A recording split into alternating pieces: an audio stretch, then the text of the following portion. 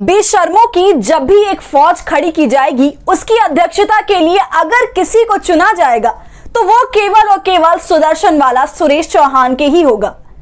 इस नफरती आदमी का दिन सांप्रदायिकता फैलाने से शुरू होता है और रात दंगे भड़काने की प्लानिंग पर।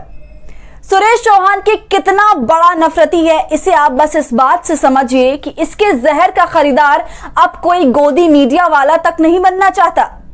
गोदी के बीच से ही आवाज़ निकल रही है कि तुमसे ज़्यादा सनातन धर्म का अपमान कोई भी नहीं कर सकता।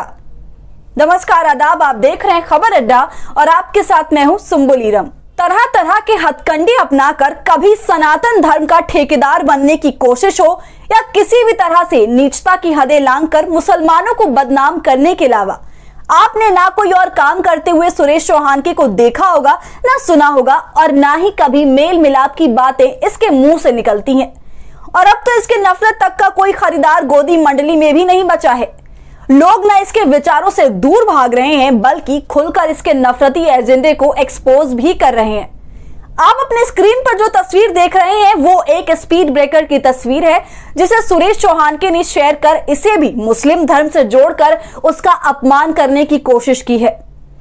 सुरेश चौहान के नाम के नफरत गढ़ ने स्पीड ब्रेकर की तस्वीर शेयर कर ट्वीट किया, सावधान, कल कोई इस पर भी चादर ना चढ़ा दे। दंगाई के मुँह से नफरत के जहर का जब बहाव इतना घिनौना हुआ, तब गोदी मीडिया के बीच से ही इस नफरत गढ़ को जवाब भी मिला। इस तथाकथित हिंदू धर्म के ठेकेदार को इसके हाहाकारी बन चुके सनातनी गौरव को आईना दिखाते हुए आज तक के न्यूज़ एंकर सुभाकर मिश्रा ने इस ट्वीट के जवाब में ट्वीट किया और सुरेश चौहान के किस नफरत पर दो टुक शब्दों में लिखा, हिंदू धर्म की पहचान, उसकी सहिष्णुता और उसकी उदारता रही है। यही हमारे धर्म को खूबसूरत बनाता है। यूँ दूसरे धर्म पर सड़क छाप पोस्ट डालकर आप औरों को मौका दे रहे हैं कि वो भी ऐसी छिछली पोस्ट करें। हाँ अगर जिद इसकी है कि कौन किसके धर्म पर कितना गंदा लिख सकता है तो ये लड़ाई अंतहीन है। इसे कोई हिंदू धर्म के बीच की लड़ाई समझने की ना तो ज़रूरत है, और ना ही ऐसा कुछ कोई मानेगा कि किसी के समझाने से किसी की जाहिलियत पर कोई फ़र्क पड़ने वाला है।